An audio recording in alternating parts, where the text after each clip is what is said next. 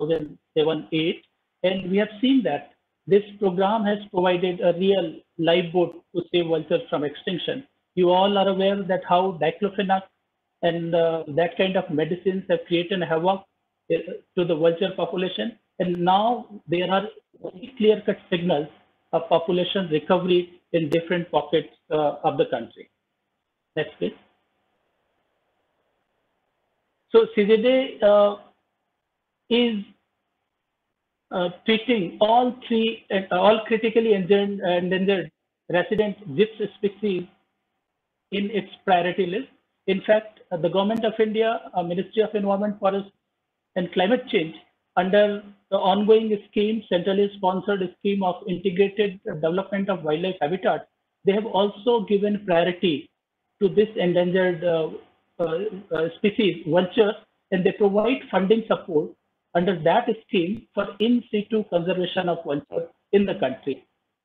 Other than this, the CZA provides technical support and uh, funding support for vulture conservation in, in captivity. So vulture uh, conservation breeding Pinjore has been identified. Uh, it is, uh, as you all are aware, Mr. Vibhu Prakash, Dr. Vibhu Prakash and his team, they are managing this. And this is, uh, this is playing a role of coordinating zoos and uh, among different uh, conservation breeding centers. Next slide. So since 2007-8, a lot of work has been done. And we have successful example in Pinjore. And based on that experience, a couple of advices have been issued, manuals have been prepared, and uh, uh, CZA is continuously trying to organize uh, uh, between all these conservation centers, exchange of best practices and how, but unfortunately, some centers, next slide, some centers are doing population uh, vultures in captivity you can see that Pinjore, Buxa, and to some extent Rani, they are doing very well. In fact, Pinjore is outstanding, but some centers like Junagadh, Hyderabad, the performance is not that good. So we need to brainstorm, we need to analyze why they are successful in some centers and why not in other centers. And maybe from Pinjore, we need to transfer the best practices to all other these centers. Next slide, please. So uh, the way forward, I think we need more such kind of workshops so that all vulture conservation breeding centers, they come to the same level. The genetic diversity of founder population should be determined. That's very important because if the population in any conservation breeding center, there's no exchange of birds between two centers or other centers, there will be inbreeding, depression, inbreeding problem. so for that, we need to study the genetic diversity and birds should be shifted. I think right now, hardly any exchange is taking place. We need to give emphasis to exchange of birds from one center to another. Siblings should be shifted to the centers within the known distribution range of states. And we have uh, seen that 25 pairs of parent stock, 25 pairs of F1 generation should be at least kept on in each center. And we think that this is the right time when progenies of F1 generation could be released in the wild. Some already some efforts have made at Rajabhat vultures have been released in the wild after tagging and Pinjore also. But I think the time has come. We from this uh, ex situ to in situ conservation and relation linkage has to be established more. So uh, with these words, I, I, conclude my presentation. And uh, I'm sure that uh, we have two eminent speakers and experts in the field of vulture conservation, Dr. Vibhu Prakash and Chris. Uh, uh, i think all the participants will benefit from their experience and knowledge. Thank you so much. Thank you very much, sir, for the overview and to set the tone. And uh, we will get back to you, time permitting, for questions. Uh, now I welcome Dr. Christopher G.R. Bowden, who is currently serving as the Globally Threatened Species Officer for the Royal Society for the Protection of Birds, RSPB, and his primary role since 2004 has been coordinating the Asian Vulture Program in South Asia. Is currently program manager for SAVE, which is Saving Asia's Vultures from Extinction, a consortium of regional and international organizations committed to the conservation of vultures in South Asia.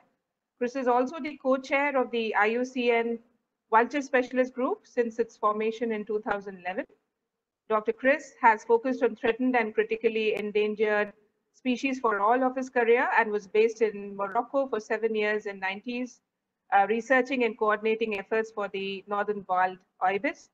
Over the past 30 plus years, he has mainly uh, been into field-based uh, studies in Africa, Asia, UK, and the Caribbean, and has uh, primarily focused on breeding ecology and behaviors in bird species, including vultures. So over to you, sir.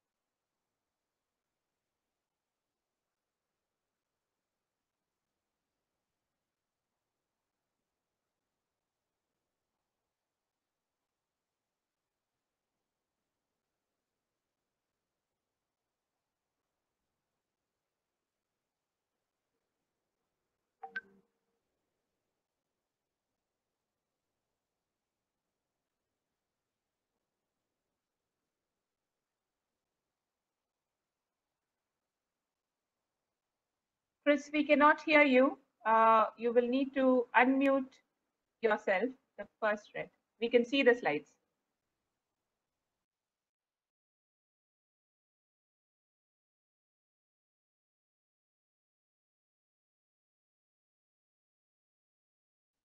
We still can't hear you. Uh, Chris, please unmute, unmute your, Chris, please unmute one second. Yes, we could hear you. We could hear you now.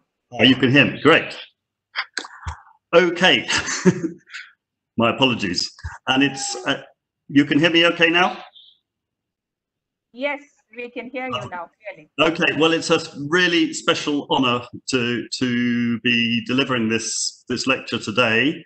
And thank you particularly, Dr. Yadav and your team for inviting me to take part in this. Uh, my side of the uh, presentation will be the, the wider context uh, for the uh, ex situ um, program, but also giving you a little bit of the in situ aspects uh, and background to that. So thank you very much. I'll be giving you a global perspective initially, but then uh, actually, this story is very much an Asian story, and, and India is absolutely uh, central to, to that. So, um, so I'm just moving through to uh, the fact that uh, vultures worldwide, there are 20 vultures and condors. Um, the New World vultures and, and Old World vultures are actually quite distantly related. Um, but the um, old world vultures are, are, the main bulk of the species. And here's a slightly more friendly looking version of, of all of the old, uh, old vultures together. But you'll see that when you look at those vultures um, and the threat status, over half of the world's vulture species are uh, in the red list of endangered species and it, it's really, uh, especially in the old world, the threats that are responsible for for pushing these uh, species towards extinction are actually quite different in different parts of the world. And there was a recent exercise by the Convention of Migratory Species Raptors MOU for all the old world vultures and produced this very, very helpful map of, of what the predominant threats are in different parts of the old world. And actually in uh, Africa, there are, I mean, uh, poison baits are, are, probably the biggest single threat.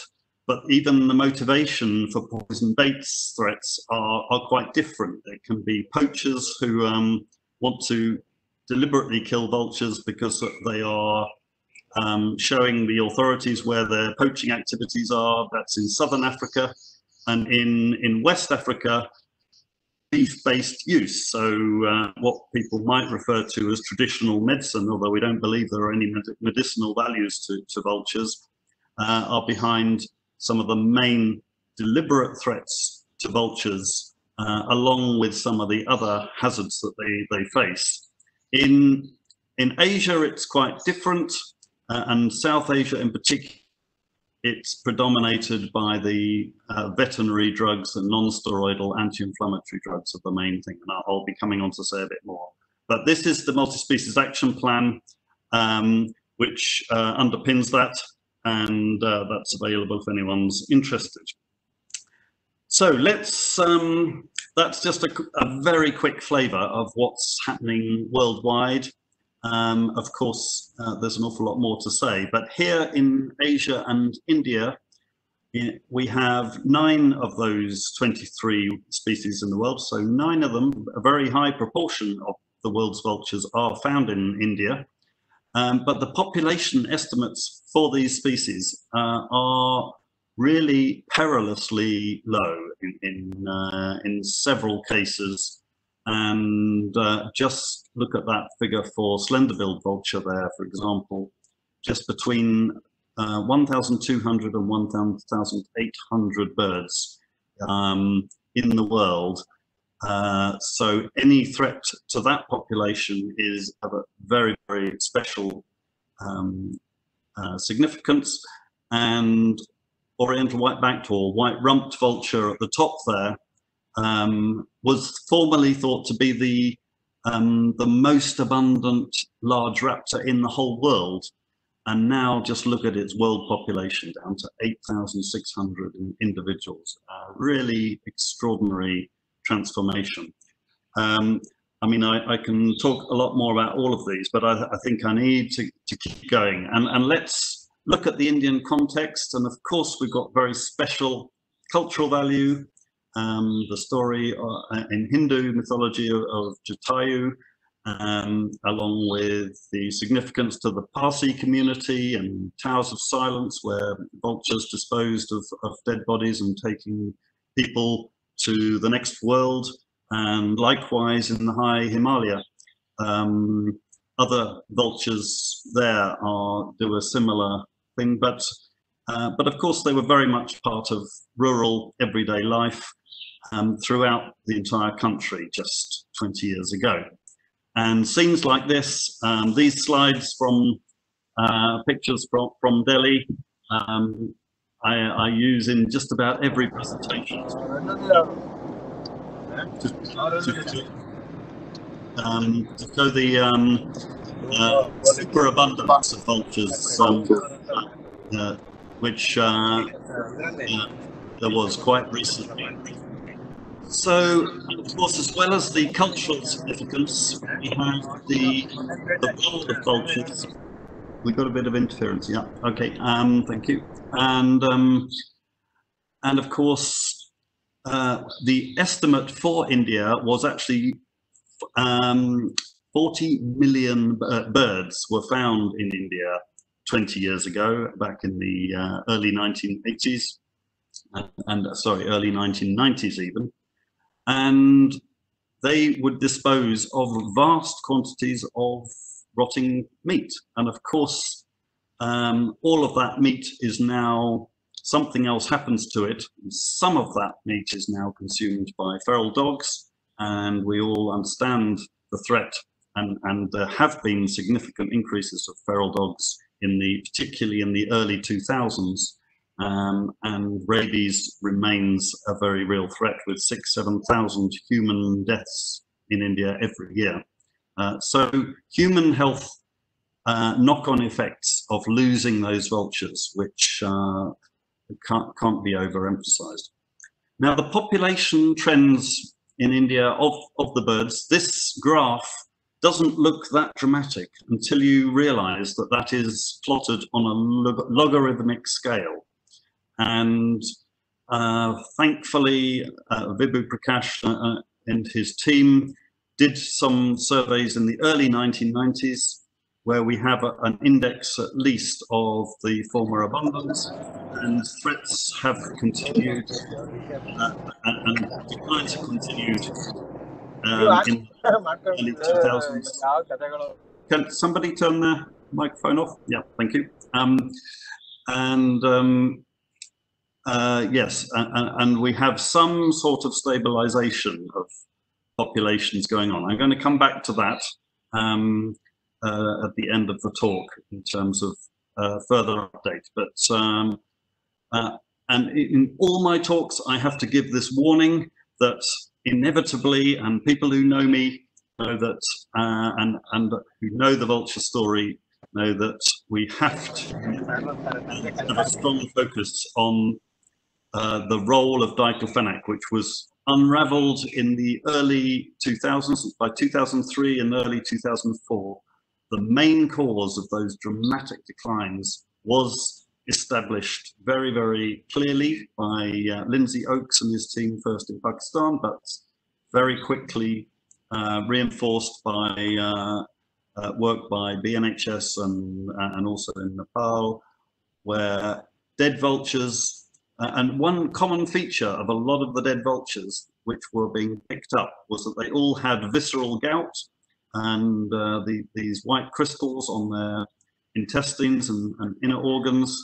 And um, in, in the end, that was categorically linked to uh, um, when diclofenac causes this, um, and it actually, the, the diclofenac causes kidney failure in the vultures and it's kidney failure that actually kills the birds. But I should just, for anyone who's not familiar, diclofenac is being used as a, as a painkiller and anti-inflammatory in uh, cattle, originally in humans, and it still, still is used. Um, but unfortunately for vultures, when they consume a dead cow that's been treated by this drug, it is absolutely highly toxic. And any birds that did were found dead that did not have gout um, did not have diclofenac when the tests were done. So, and, and there's more up-to-date information. Uh, this this was what really um, sent the big big um, message that we uh, uh, and some actions that were needed back in 2004, which is when I started on the uh, the Vulture program uh, in my role to try and coordinate um, the actions that were needed. So, um, and, and the, there were two key actions required. The first was removing diclofenac from the environment, which needed finding a safe alternative and, and, and getting effective bans of diclofenac. But the second and um, key priority was establishing an ex situ uh, program, a breeding program to secure at least three species of gyps vultures. And first to secure them because the declines were going on so fast, those logarithmic scale declines. Um, and but but also with the um, uh, future goal for for actually working towards a, a, release program and all the benefits that that can bring. And, and I think um, so just quickly to run through some of the in situ conservation that, that uh, led to the bans, there was an awful lot of um, science behind it, um, a lot of publicity, um, video and Mike Pandey film, a lot of um, press coverage, reaching the uh, um, the conservation community um, to get them on board because actually many people were very skeptical whether uh, a veterinary drug could really have caused these dramatic declines and, um, and, and, discussions with government. But the Prodipto Ghosh, the, the secretary at the, the time, was very much um, clued in on, on the science behind the need for a ban and, and those bans came through. And I think by India led the way in 2006, gazetted in 2008, and very quickly, um, well, almost simultaneously, uh, Nepal and Pakistan um, followed a bit later by Bangladesh, Iran, and, and most recently by Cambodia, where um, diclofenac has just recently been found in, in veterinary use. Um, a second step in 2015 was getting human diclofenac ban in place uh, for, for the large vials because we found that um, large vials of human diclofenac were not need, needed in, in, human medicine, but it was actually a rather cynical move by the, the pharmaceutical companies to make it available to, to vets um, to use illegally. Um, so getting that ban, I think, was a, was an important further step. One further um, in situ measure, which has evolved in the in time um, and, has been going for at least 10 years now, is the concept of something more localized, a vulture safe zone, uh, 100 kilometer radius. Um, and these areas, um, which have been where initiatives have, have taken place, uh, are marked on the map there. Um, and this gives some, it's basically uh, targeted awareness, uh, but also um, pharmacy surveys and, uh, and other vulture surveys in, in those areas. So teams of five or six people uh, really making sure the government, um, uh, local government authorities and DFOs are all fully aware of what, what needs to happen and they're based where there where there are at least some vultures left. Um, I could talk a lot more about that, but just just so you're aware that that's that's going on. So that's um, as much as I'm going to say about the um, the in situ work uh, up to now. So the ex situ work, which Vibhu is going to tell you much more about uh, than I will now, but but just to to say that uh, be, um, been working very closely with BNHS and, and Vibhu in particular to develop uh, and bring in the right expertise from, from different programs all over the world, uh, California Condor and Eurasian Griffon Vulture work, uh, Jemima Parry-Jones, various experts and from South Africa very, uh, to, um, to actually pull together uh, and, and get the um, uh, the, the, methodologies and expertise instilled here. And because nobody had bred these species when we started this um, back in 2004. And uh, well, I'll try not to steal too much of uh, thunder, and I'll, I'll let him tell you more about um, about these details. But I do just want to mention that, the, I mean, the centres, as uh, Dr. Yadav has just shown, um, in, in India but there, there are just only two such centres outside India, just to be aware of, one in, uh, in southern Nepal and one in eastern Pakistan. But both of those are relatively smaller um, than most of the centres here in India. But I'll, I'll let Vibhu tell you much more about that. Another thing I wanted to explain a little bit more about is that back in 2010, um, when we'd made a lot of progress, we'd got those bans in place, we needed to review priorities, we needed a, a regional recovery plan, highlighting work and, and, get communication going. And so we came up with the idea of establishing a consortium. And um, Jairam Ramesh kindly agreed to help us launch this in February 2011.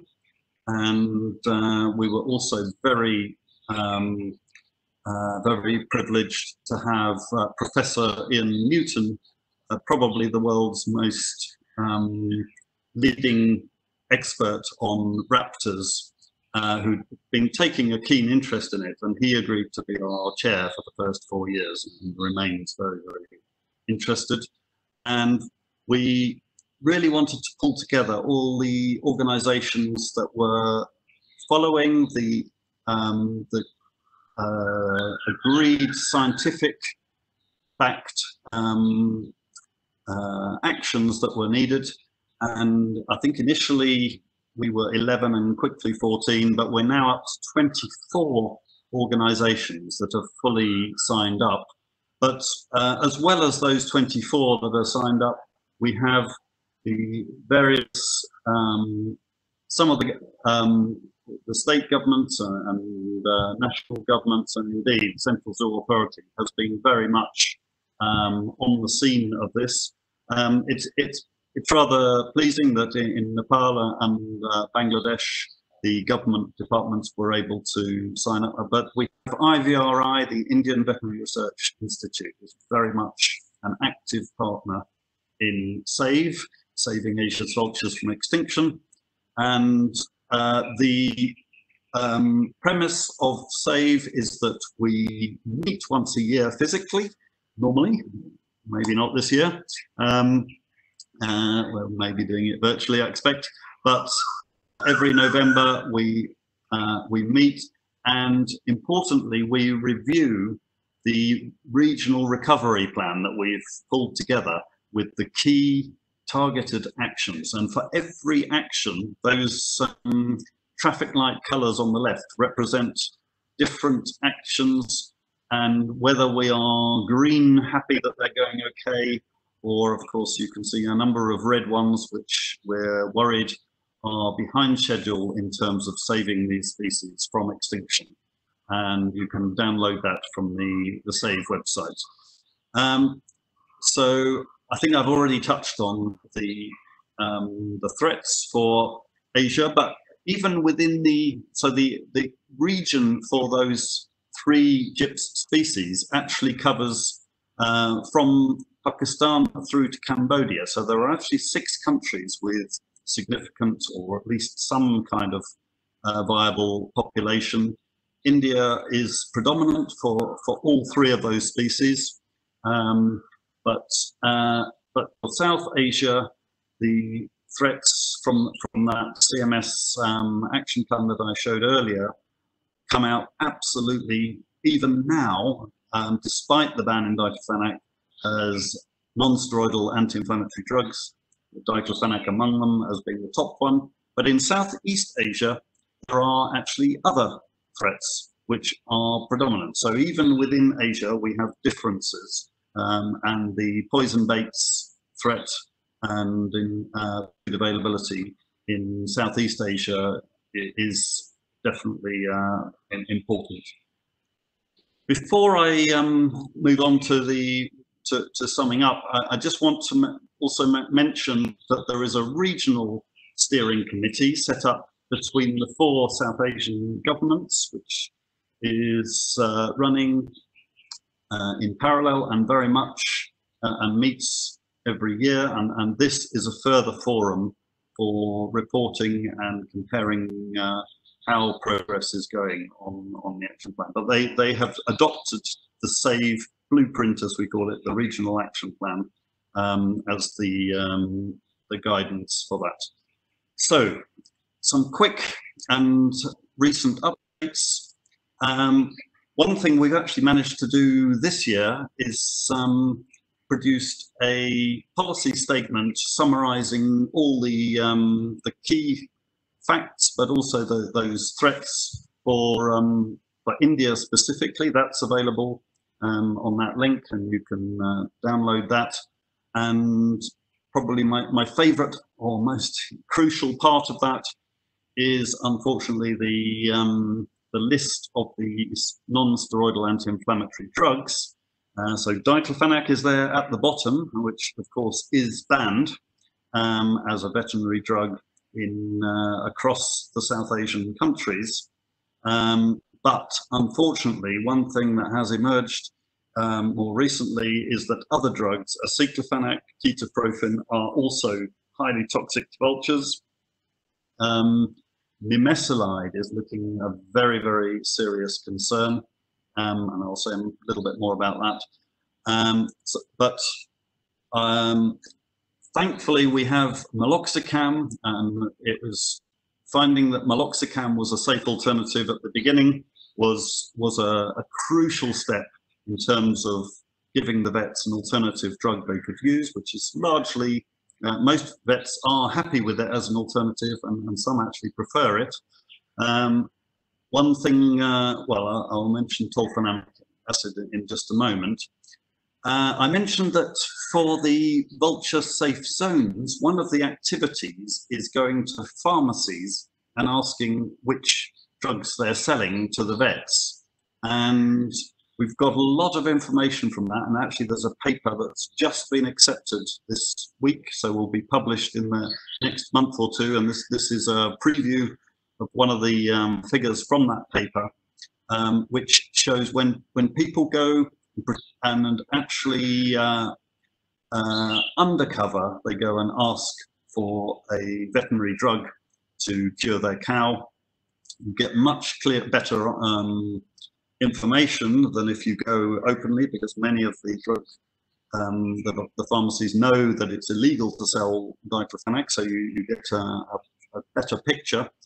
Um, but you will see that uh, from these undercover surveys, this drug that I've just mentioned, nimesulide, is unfortunately uh, very much available in several parts of India and being used more and more widely. And we've had at least five dead vultures with visceral gout, as I mentioned, uh, what we had been regarding as mainly a feature of dead vultures killed by um, diclofenac, but we know that, it, um, that, that when we've tested their tissues, there's been no diclofenac, nothing else obviously wrong with them, but high nimesulide in the tissues.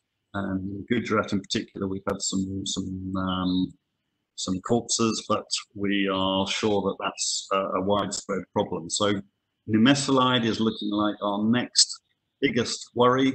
Um, we haven't been able to do safety testing on that so far.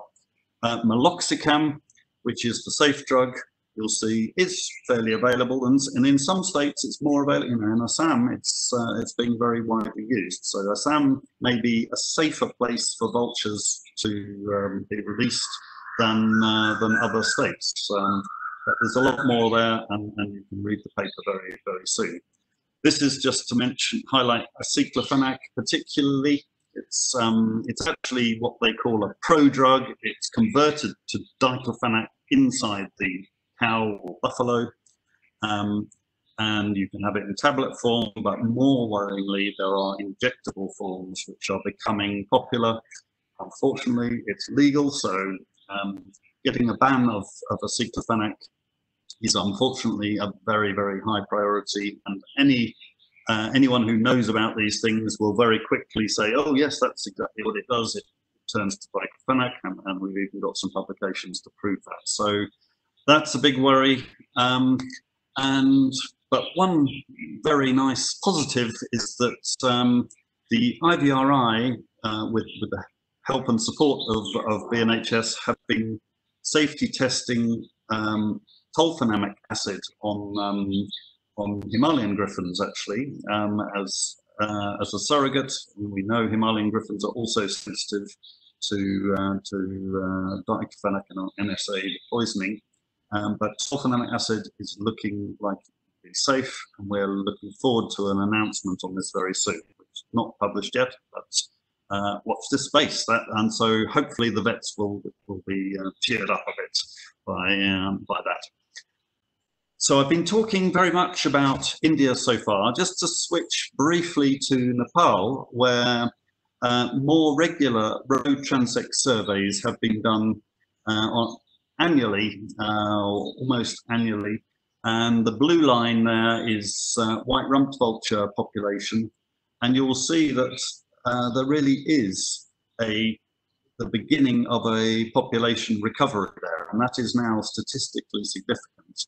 And in fact, um, even for slender-billed vulture, it's looking ho hopeful too, although there are much smaller numbers there. But um, so in Nepal, where there's been some very intensive work to remove the um, the NSAIDs um, more effectively, and, and uh, it's backed up. There's a lot more information again in this uh, paper, which will be published soon, and I don't have time to go into the detail of that, but um, which backs up that Nepal is indeed a lot safer.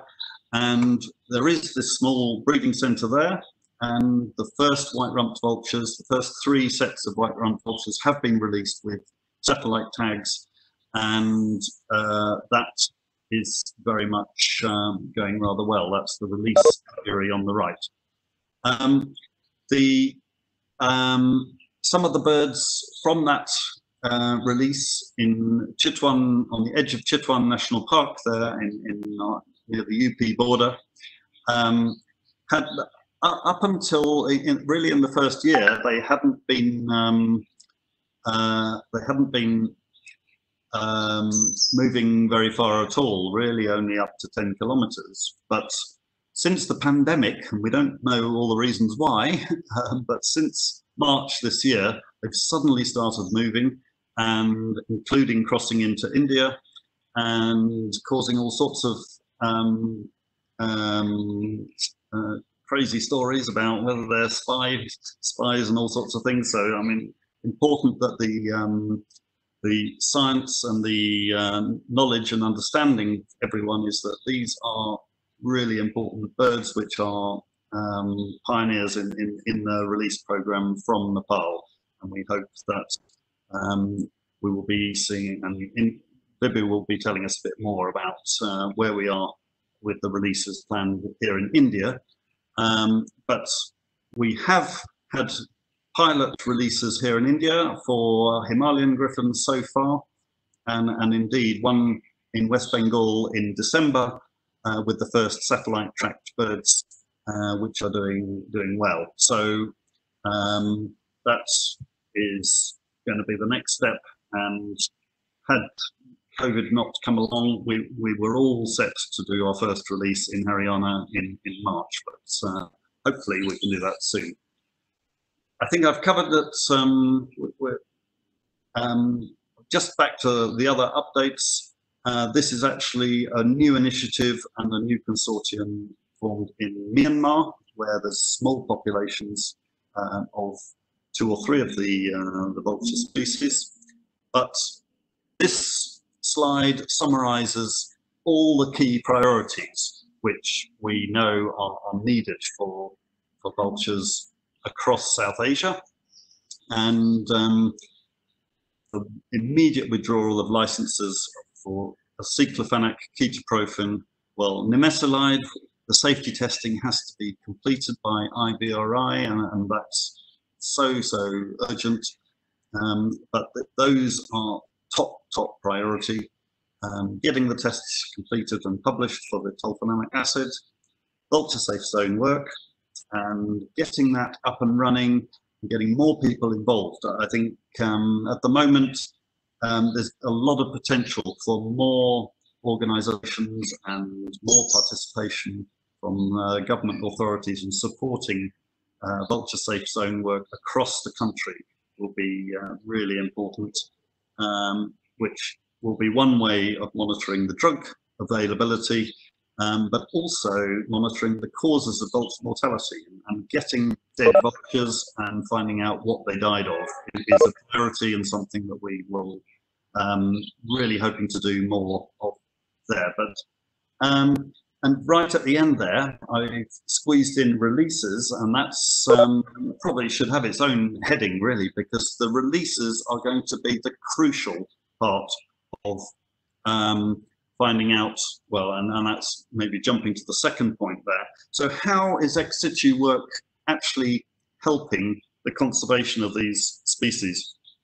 And yes, um, back in 2004, getting birds, birds into those breeding centres was very much uh, just conserving the, the genetic stock, um, making sure they didn't go totally extinct because uh, that, that was um, uh, crucial, developing the methodology for, for breeding, um, but of course as a source for birds to release and, and the releases are a way of testing just how safe the environment is. And then uh, also as a focus, I, I, think if we didn't have these breeding centres, uh, there wouldn't be the same focus for actually uh, people to come to and to get involved and like the safety testing of IVRI is all being done in connection with um, with the breeding centres, even though we're uh, we're not using those birds except for the very final uh, uh, final check on, on, any safety testing, but but that's a really important um, reason why ex situ work. And I must admit, you know, ex situ work is not something that um, you know. I work for the Royal Society of of Birds. Um, well, I'm based here in Bangalore, um, but um, from the UK. And, you know, we don't get involved in ex situ work very often, but this is such a, um, such a, an emergency operation. It's something that really, really needs doing. Uh, and we've ended up managing to bring some funding to, to get to help get these centres up, up and running. But, but there is a very real worry and risk that that funding is, is not enough and not not uh, regular enough, and, and, so that that is a major concern. Um, the question at the top there: Are populations recovering? Well, in Nepal, they, they definitely are showing signs of recovery, where the those drugs are coming down in in um, in proportion. Um, but in India, I think the, the short answer is uh, not really yet. I think they're stabilizing, um, but the indications and, and Vibhu's and his team's um, 7,000 kilometer road transect surveys, uh, again, were due to be repeated this year. So we would have had a, an update on, on how, um, how well things are going or not. Um, it, that's, that's had to be postponed for another year.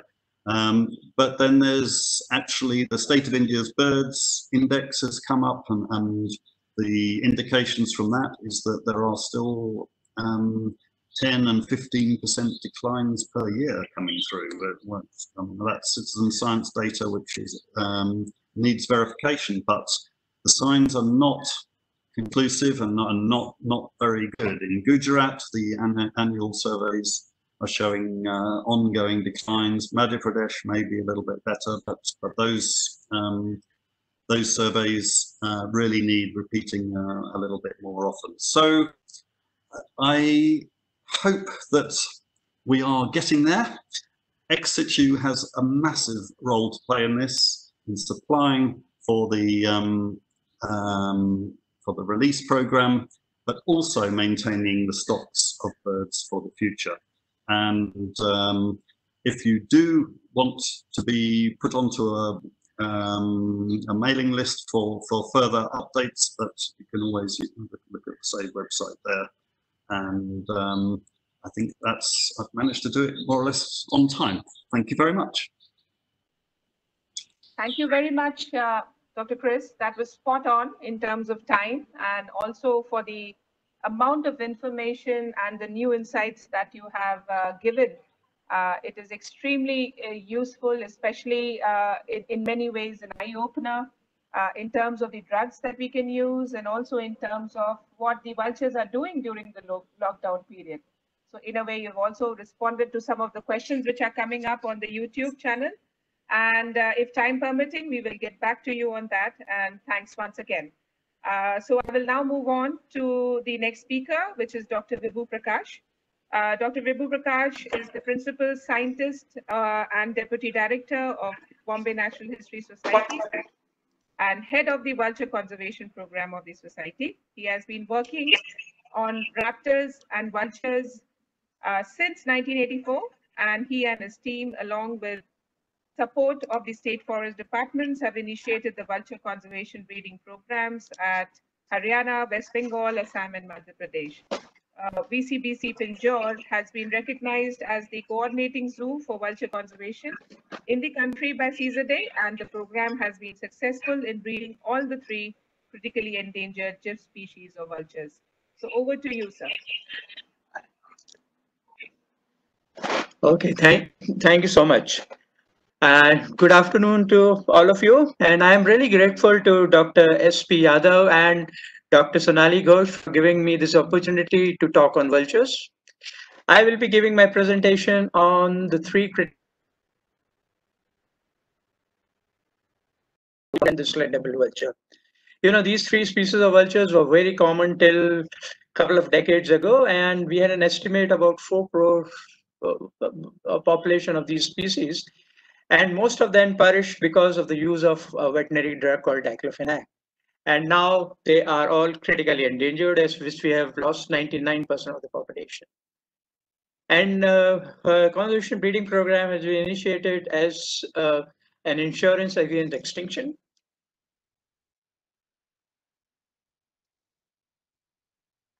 Uh, the Central Zoo Authority, uh, it's a uh, uh, it's in the top priority list of Central Zoo Authority for conservation breeding and recovery program, and all the three species are in the top two of the list. The Central Zoo Authority has identified Vulture Conservation Breeding Center Pinjore as the coordinating zoo, and it has provided technical support as well as funding support to five other centers in the country. And it provides continues to provide technical support to other centers through the uh, coordinating zoo for running of Similarly, uh, um, the Ministry of Environment and Forest, Government of India, in its action plan in 2006, identified conservation breeding for the three Gyps species of vultures as the most important action to save them from possible extinction as we had lost 99% of the population. The Central Zoo Authority has also developed a manual for setting up the vulture conservation breeding program for the husbandry and care and for the running of the center and especially the management.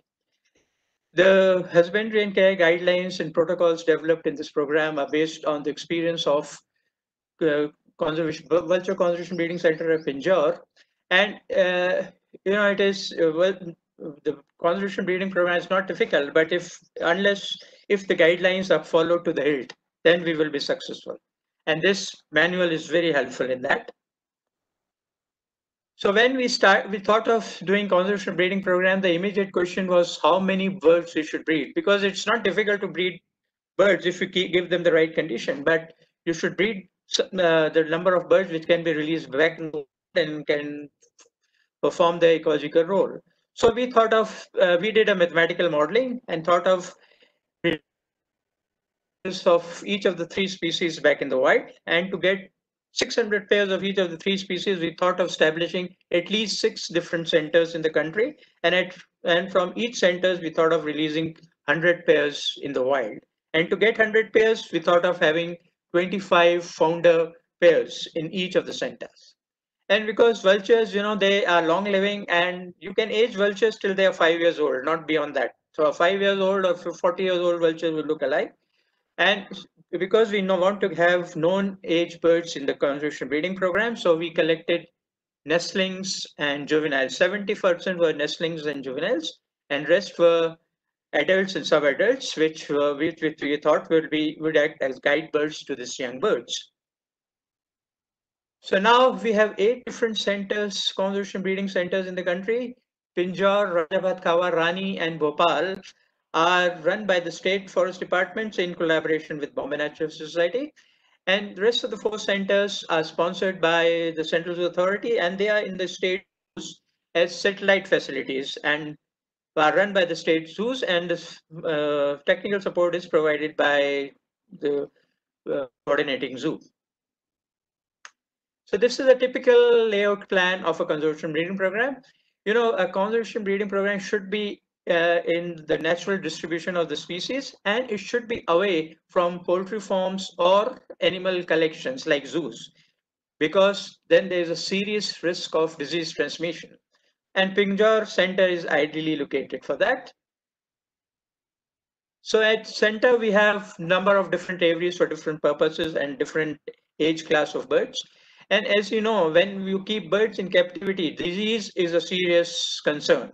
So we have very good quarantine facilities for birds. So when the birds are brought in the center, they are straight away taken to the quarantine facility where they are kept for 45 days. And if after the health they are found healthy, they are brought to the centers. And 45 days is the incubation period of the most prevalent disease in aves, that is the Ranikhet disease. And if these birds are carrying disease, it will appear in 45 days. And birds, when they are brought to the center, they are already kept in the nursery aviary or in the holding aviary if they are uh, juveniles or in the colony aviary, which are our largest aviaries in the center. vultures are social birds, have to be kept in flocks. So we have our largest aviary is 100 feet long, 40 feet wide and 20 feet high. And in this we can keep 30 plus birds easily. And the uh, aviary is uh, well ventilated. It has all facilities for the birds. It has water troughs, perches and all. And you know, uh, vultures are uh, big birds of prey. And these large birds of prey, the problem comes when you keep them in captivity is in their feet. So uh, in uh, when they are um, out and open in the wild, they are most of the time up in the sky and soaring. But when they are in captivity, they have to be uh, be perched and that pro creates problem in their feet. So they develop pressure sores in their foot pad and that can become uh, develop into a disease called bumblefoot. It gets infected and it's very difficult to treat. But you can easily overcome it by giving them a rough surface to perch on. And so what we do, we just want coconut rope on the perches and then uh, we don't get disease. So, and the We have other aviaries also at the center, like display aviary, hospital aviary for keeping sick birds, and breeding aviaries for keeping pairs which don't feel comfortable breeding in colony aviaries. Because we have a conservation breeding program, so all our birds are marked because it's very important to know the genetics of the breeding birds. So we uh, put a wing tag, we also ring the birds, and we also put a microchip, which is forever. And we uh, keep all their micro um, morphometrics electronically. So all information is stored from for all the birds uh, which we have uh, right from the beginning, and we know which bird is breeding with whom. We uh, we catch all our birds once in a year and give them a thorough health check just to make sure they are healthy. And we bleed 10% of the bird and check their blood samples and uh, just to ensure they are doing fine. And if there's any problem, then we treat them. Otherwise, we don't give them any uh, anti-helminths or any vaccines or anything because these birds have to be left uh, back in the wild. We also have developed good uh, laboratory facilities because for avian diseases, there are very few facilities in the country. Even to get uh, blood analysis of birds is difficult. So we have tried to develop these facilities in our centers. So we can do uh, hematology, biochemistry, and you know, these birds are not sexually dimorphic. So you cannot make out a male from a female. You can do it only through their DNA. So we do have a small genetic lab and also a microbiology to study their gut flora and fauna. And feeding, food is the is another very important aspect of uh, you know, conservation breeding. And as you know, most of our vultures perished because of the use of non-steroidal anti-inflammatory drugs, especially diclofenac so what we do, we keep goats with us for seven days. And if they have been treated with diclofenac, it, the diclofenac is excreted out within 72 hours. And then we skin the goats and we give the entire carcasses to the vultures. One vulture, uh, we feed vultures twice a week just to mimic what's the conditions in the wild. And each vulture gets four kilos of meat per week. That works out to be 5% of its body weight. And that's how uh, normal living being feeds. Uh, and we, in fact, try to little underfeed the vultures because they are in captivity and don't spend that much energy, and and they keep themselves fit. So this is how they feed. You know, the, as soon as the food is given, all of them uh, jump white-backed vultures. Long-billed and slender-billed vulture, they like to wait for a day or so and then come. And uh, they very quickly finish the food and there is no hierarchy the hungry bird is dominant, not the powerful one. And we usually we try to keep one species in a aviary because uh, although they cannot interbreed, they can form pairs, and that is used. And vultures love to take baths, so we have given we have good number of water troughs, and we top them up every morning. If you do, if you don't do it, they will not take bath.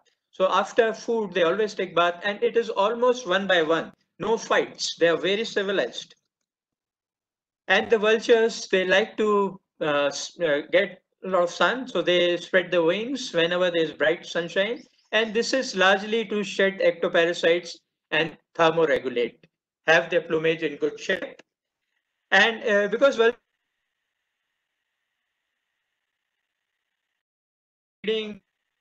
the wings or uh, flying around, they do together. And you see how calm they are. They are in captivity. If they are, uh, I guess they, they breed successfully. And if to keep them in flocks, they are very comfortable, even in captivity. And aviaries are very well ventilated, a lot of air. Whenever there is gush of wind, these will try to exercise. They do vigorous wind exercise because there is wind and they keep their wings in good shape. Their pectoral muscles remain in good and wild, I'm sure they will be able to fly absolutely no problem. And uh, because they are again social birds, all the birds in the aviary will be doing this. They will be, whenever there's gush of wind, they, you know, bird at back is a juvenile and the bird in front is an adult. It, it takes uh, um, uh, uh, it takes plumage, but once a bird is adult, it's very difficult to age it because a five years old or a 40 years old birds look similar. So that's why we have collected have the known sex birds. And uh, these birds are, uh, you know, they start breeding when they are five to six years old, but they start are three to four year old. When uh, a, a male usually offers a twig to the female, and the female twig, it, they become pair for life. If one of them dies, it is immediately replaced. Uh, the nesting at the center takes place like there in the white during the number and uh, they share all the duties of nesting together.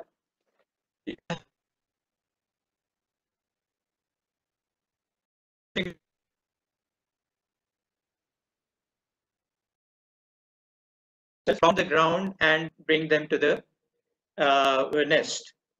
Some of the pairs, they build nest for almost two months, but some of them just make a scrap and then lay an egg. And uh, building nest also increases the pair bonding.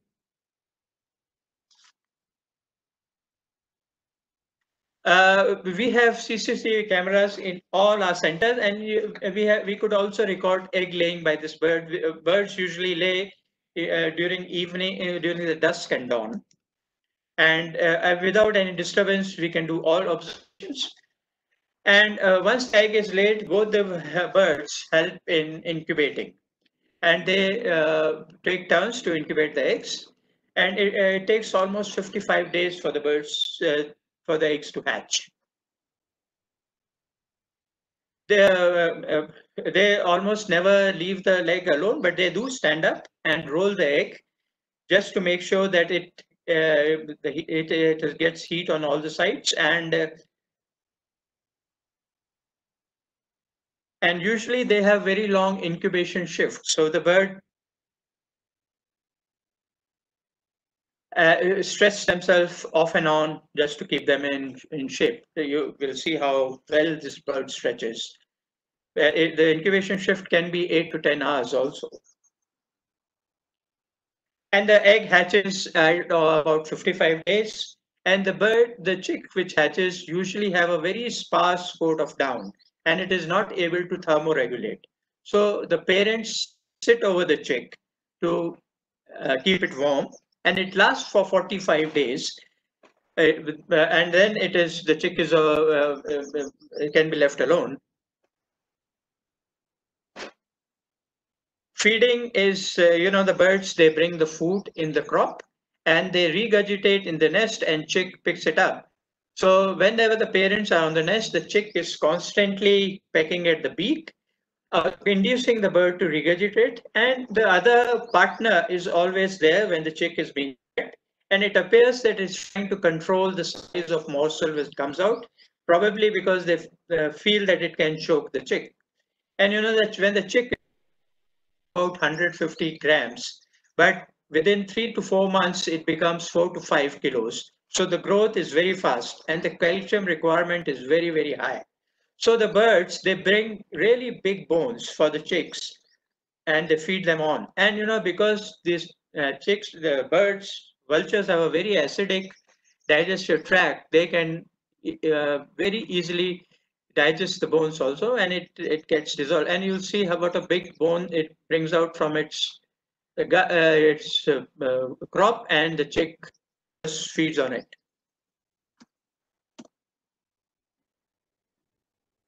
and the birds uh, you know uh, the vulture chick it takes almost two months to start standing up and if it doesn't do that, then we are worried because then there can be problem with calcium deficiencies. And if the chick has calcium deficiencies, it's almost impossible to save it because uh, it develops metabolic bone disease and dies. So we have to be very careful in getting giving the right amount of uh, calcium. So as Dr. Yadav said, we have got now about 750 birds in various breeding centers, and most of the birds are Pinjore, Buxa, and Rani. We have about 354 birds at Pinjore. And it is because we we we have bred almost 400 chicks so far in in the different breeding centers, and of them 274 are just from Pinjore. And it is largely because in Pinjore we do artificial incubation and double clutching. So you know when uh, the uh, uh, uh, the vultures usually lay one egg per year, but if the egg fails for certain reasons, it uh, it uh, uh, lays again within uh, 15 to 20 days. So we take advantage of this and we remove the egg if 10 days after it has been laid and we artificially incubate it. The birds then relay again and and uh, the we and they incubate the second clutch.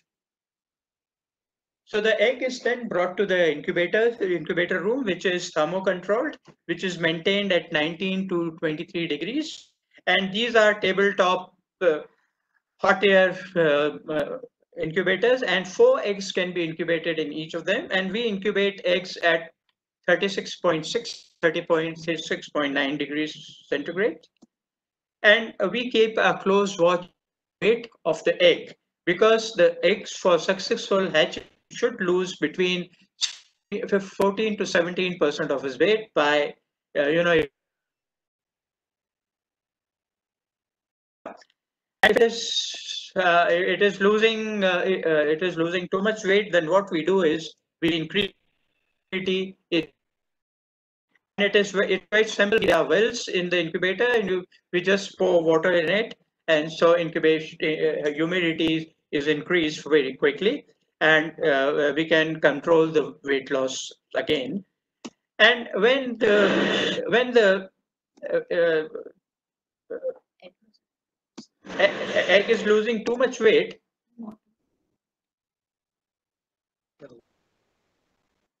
when egg is not losing enough weight, then we act and uh, we uh, we control usually hatches. We else are doing candling, and it, it, you can actually see the embryo inside and the various blood vessels. It's a good way of monitoring the growth of chick. And uh, uh, we usually turn uh, the incubator Uh, uh, uh, once in uh, we are, but also every every uh, three times a day, every uh, uh, every day, just to give them even heat all, all around. So and you know till 40 days you you think the egg is dead because you hardly see any movement movement in the egg but after 40 days, if you keep it on a firm surface, the egg starts twitching. And that's when you know that egg has life and it becomes very exciting. And when the egg is 52 days in incubation, it actually cracks itself, which we call external pip. Two days before that starts calling from inside. And then in 55 days, And when the egg, uh, when the chick hatches, it has got uh, a very sparse coat of down.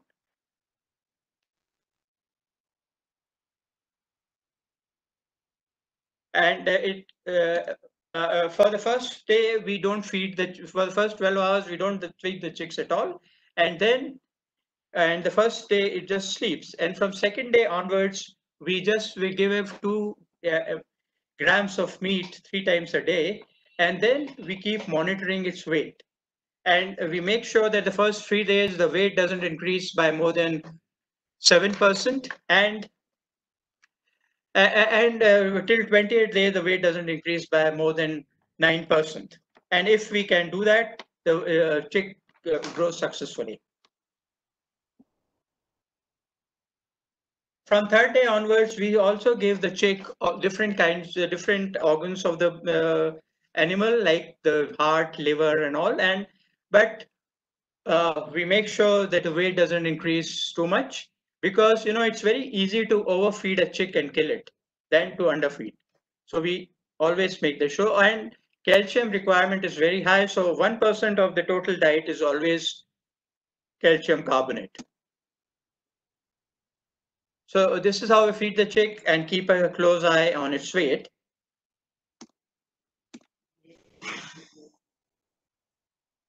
Okay.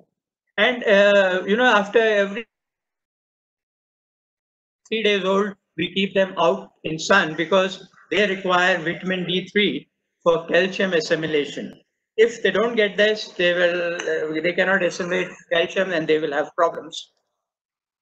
And then they are uh, they are kept in sun only for half an hour. Then then they are kept in brooder boxes for another five days and the temperature is regularly brought down and but they are kept in uh, in uh, in groups so they imprint on each other not on us so when they, the chicks are about 10 to 15 days old they are given back to the parents. And since vultures have hardly any sense you can give it any chick and they will accept it. So the uh, chick the first clutch chick is given uh, to the uh, to the bird and take the second egg. And the second egg is incubated by us again and the chick is then reared by the parents.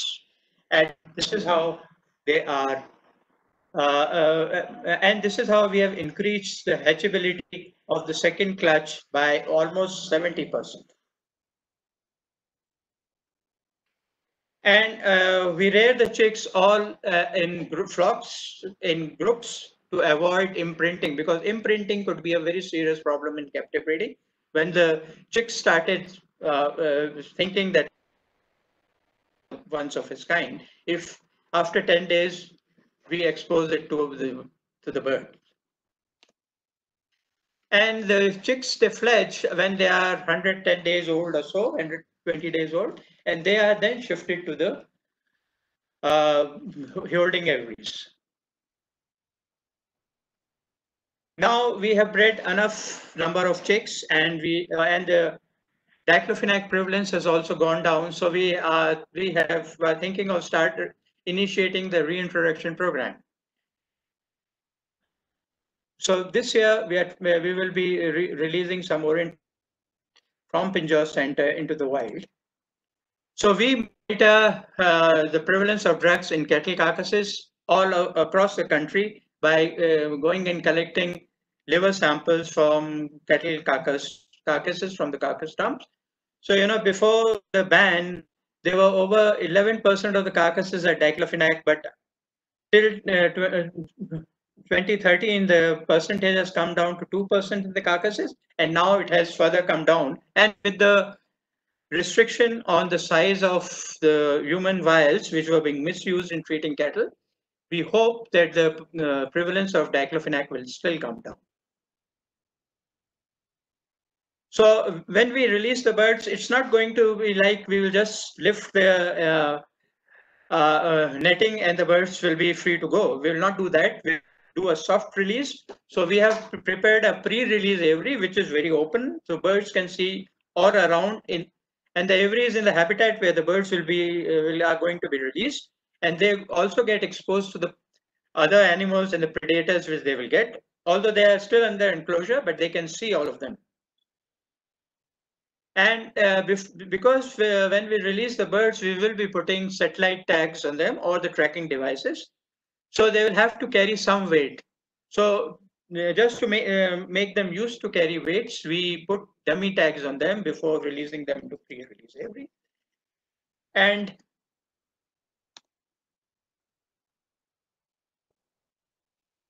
and you know all our conservation breeding centers are off display so they are they are not for public. But since we now have to release birds back in the wild we need support from the public. So uh, what the best way is to invite public figures to the center. And so we what we did we invited the chief minister of haryana to release the bird pre-release aviary, and that proved to be very helpful and uh, uh, because of the a lot of publicity we got. This how uh, release aviary looks like. The world birds can see all around. We also have crows now get in, so vultures will know what to ex expect when they are in the wild and also see other free-ranging uh, vultures because we attract free-ranging vultures just outside the aviaries and we uh, and uh, we hope that there is good interaction between our captive bred birds which are inside and the free release uh, uh, and the free ranging birds which are outside and uh, because vultures are social birds once they are they will be released they are surely going to join the wild free ranging birds and then their survival will be much better See, this is how the interaction takes place. The bird, the dark bird, free-ranging bird, and this young bird is inside, and they, the free-ranging bird wants to come inside, and the uh, bird in captivity wants to go outside. You know, the grass on the other side is always greener.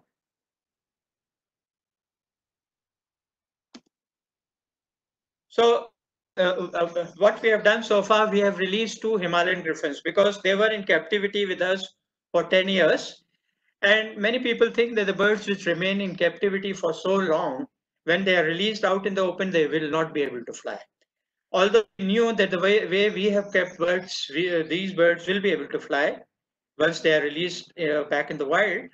But nevertheless, we thought we will release them first and see what happens. So that's how we did a test release in 200 and, uh, 2016 those days we didn't have uh, PTT, the tracking device.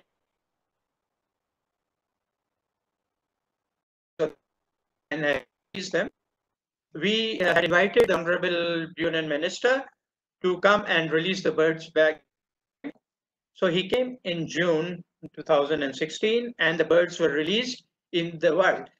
So he came and opened the gates on the 3rd June, but for next 24 hours, the birds just didn't go out anywhere. They just kept sitting. We had provided them with nice, juicy goat. We had also given water. The free ranging birds also came and fed, but these birds didn't move. Exactly 24 after we had lifted the gate, these birds showed signs of going out. They apparently knew that the cages are open and they can go. And see how quickly uh, how they went out of the uh, cage without dashing anywhere, almost like professionals. They went out. Let's see how they just went out the and crashing anywhere. So, so another 10, 15 days, the birds remain close to the center and we will provide provide food, which it will feed with free ranging vultures and behave exactly like a wild bird. Uh, but it was scared of us. It will not come to us asking for food. And within a month's time, the bird started soaring and flying. It would avoid trees. It will not dash anywhere. There were also power pylons. There were uh, electricity wires and everything. But it will look for thermals and then it will start climbing as a typical wild bird will do. And we were very pleased with it. And remember, this bird was in captivity for 10 years in our center, and then it was released back. This bird will also interact with the free-ranging birds. The smaller birds will mob it, but it will kind of not mind anything and uh, it will keep flying. But after 45 days, this bird disappeared in the clouds and went northwards and we could not trace it. And since it didn't have a tracking device, we could not find out where it has gone. Although we did circulate these pamphlets all over and people did call us up twice or thrice, but after that we didn't hear about. But by the time it, it was in last, we could monitor it for 45 days by 10 different teams following it. It had started finding its own food and water. So I'm sure it would have survived after that. And now we are going to uh, uh, reintroduce the critically endangered white-backed vulture. We are going to uh, release six of captive bred vultures and two wild caught adults into the wild. And we hope these wild caught adults will add to the bird, our captive bred birds. And we have obtained the satellite uh, tags and the other tracking devices for these vultures. And we are also making sure that in a 100 kilometers radius from the center, the environment is safe for the birds, especially there is little prevalence of uh, diclofenac and other toxic drugs. There is food and there is no other threat to the vultures. So this is the 100 kilometer radius which we are monitoring. We are especially monitoring the wild vultures population, food uh, going to the carcasses dump and uh, actually uh, counting the number of carcasses available. And we we think there's a lot of food for the vultures. There's no problem. Habitat is very good. There's no absolutely no problem prevalence of diclofenac has gone down, but it is still there a bit, and we are trying to make sure that the human diclofenac is not used for veterinary, uh, for treating cattle. Of course, there is problem of aceclofenac and uh, which we are working with authorities to make sure it is not used for cattle. And we are so far getting good support from all the five state governments which are there in 100 kilometers radius from the center. And that's all I have to say. And uh, we are not alone. We have uh, help from a number of national and international organizations, and of course from the Forest Department. And Ministry, Ministry of Environment and Forest and Environment Change has always been a big supporter. Thank you very much. And that's all I had to say. And I will happy to take any questions. Thank you very much, sir. Uh, it was very, very informative. And I think uh, many of the questions which we are now seeing in the chat box uh, have been answered in your presentation. I'll request all three of the speakers to uh, switch their videos and microphones on. Uh, I think I'll take a couple of questions because uh, many of them have already been answered. Uh, but perhaps one question to you, Dr. Vibhu Prakash first. and of course, obviously, you've mentioned that the question is that yes, uh, that what will be, uh, when will the Jatayu Vulture Breeding Center conduct its release of the captive bred vultures? You have mentioned that it will be when you get the uh, satellite tra transmitter permissions. Uh, but having said that, the question is that uh, how much management of dogs, feral, free ranging in and around release sites is crucial for vultures as well. Uh, so, so yeah, so two questions bundled, into one for you. Well, uh, I, I, may not be clear, but we have obtained permission and we have also obtained the satellite tags. We have got now eight of them and we will be putting on vultures and we uh, uh this winter. And uh, as far as uh, dogs are concerned, you know, uh, uh, like uh, I've been working on vultures for the captive breeding program, and we will uh, we will spread a carcass to attract vultures. And what what we will do, we'll make sure that the dog comes. believe they, they, we will not be able to attract vultures on the carcass unless the dog comes the vultures don't really come that it so I don't think dogs are that big a threat. Uh, only the you know the we are taking care that we will release vultures with the free uh, stock of free ranging vultures. So there will be number of vultures with them. And the other thing is we will be provisioning food for vultures very close to the center, and we hope that they will initial days they will be uh, uh, they will remain close to the center and, and then it, it this will not be a problem.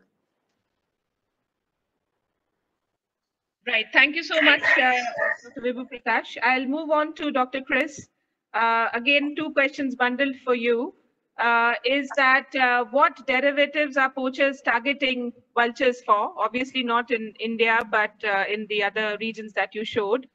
And how do we create awareness for the vulture safe zones? What do you think should be the awareness outreach uh, activities and especially zoos across the country do you think they can act and uh, help in awareness building? Okay, thank you very much. Um, in Africa, the poachers, they're not interested mostly in the vultures at all in terms of products. They just don't want the vultures to be around to um, to indicate where there's a dead elephant or rhino.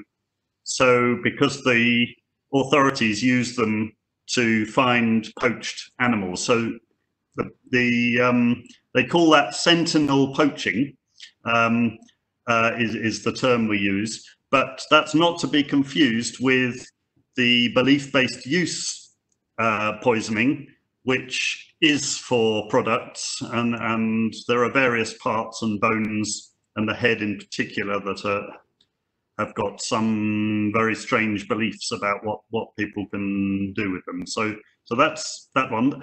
Um, on the um, awareness related, yes, and, and, I, I mean there's a lot more I could say about vulture safe zones generally, um, but but awareness, and, and, I'm sure there is more that, um, or there are various things that zoos could do to highlight, you know, the threats. Actually, the um, that short brochure that I mentioned on the um, on the policy summary, you know, there's materials there that could be conveyed about uh, why vultures have disappeared and getting those scientific facts clear in people's minds and uh, actually messages to the veterinary community above all and the of course for every qualified vet there are three uh, uh, paravets or quacks.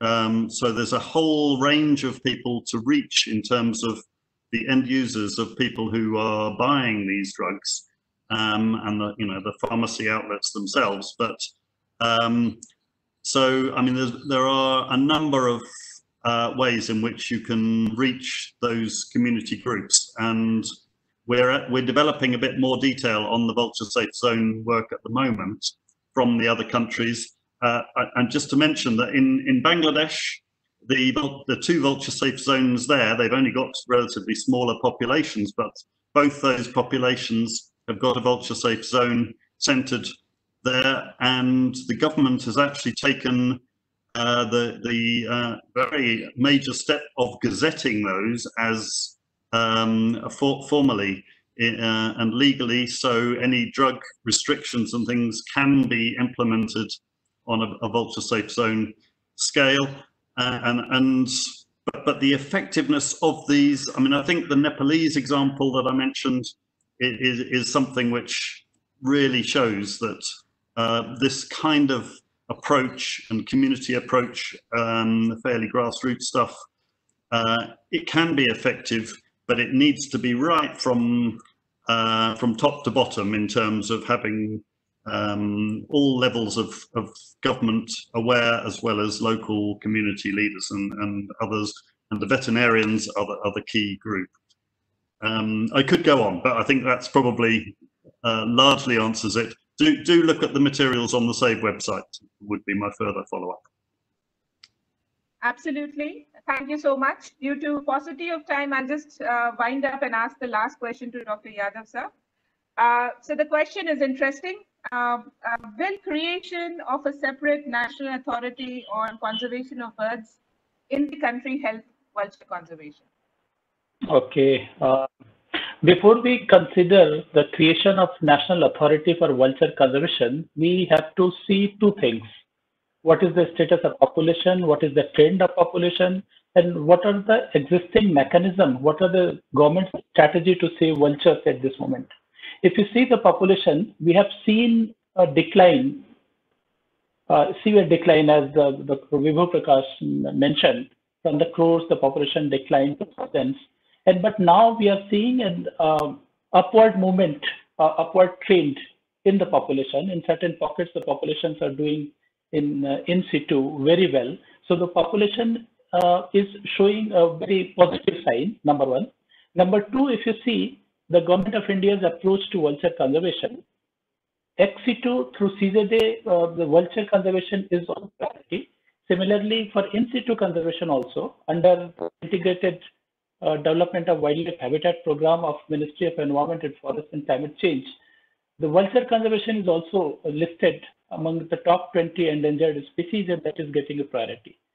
So uh, I think, in my personal opinion, this is uh, not the right stage to create a separate authority for wild, uh, con uh, conservation of vultures in India.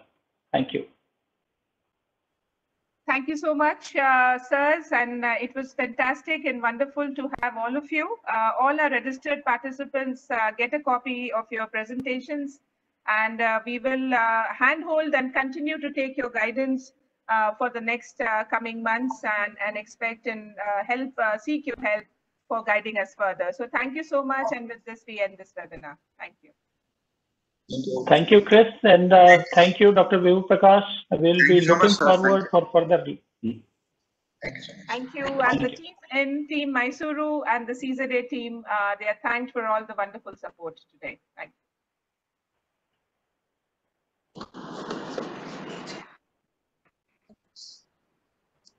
Y